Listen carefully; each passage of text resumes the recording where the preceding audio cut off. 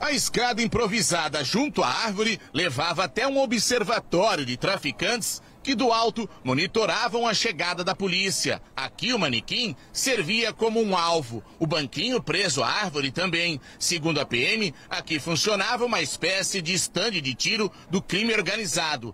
Um local de difícil acesso, no alto de um morro do Guarujá. Era a base de uma quadrilha de traficantes que age na cidade da Baixada Santista.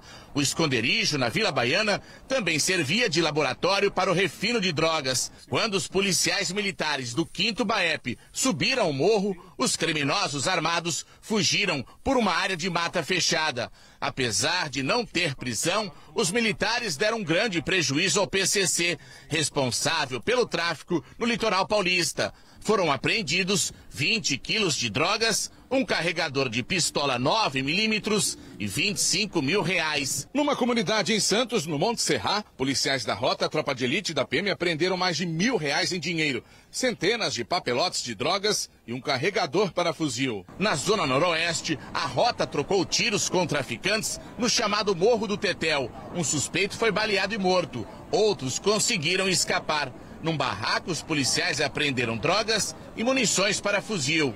Essas incursões policiais fazem parte da terceira fase da Operação Verão, um reforço no patrulhamento da Baixada Santista, que começou depois da morte do soldado Wesley Cosmo da Rota. Até agora foram presas quase 700 pessoas, muitas foragidas da justiça. Também foram apreendidas 80 armas de fogo, incluindo fuzil, e quase meia tonelada de drogas. Neste final de semana, a polícia descobriu uma central telefônica do PCC na Baixada e apreendeu 500 celulares roubados ou furtados a Operação Verão levou para o quartel da PM em Santos o secretário de Segurança Pública de São Paulo, Guilherme Derrite, e os comandos das duas polícias. O objetivo é combater o crime organizado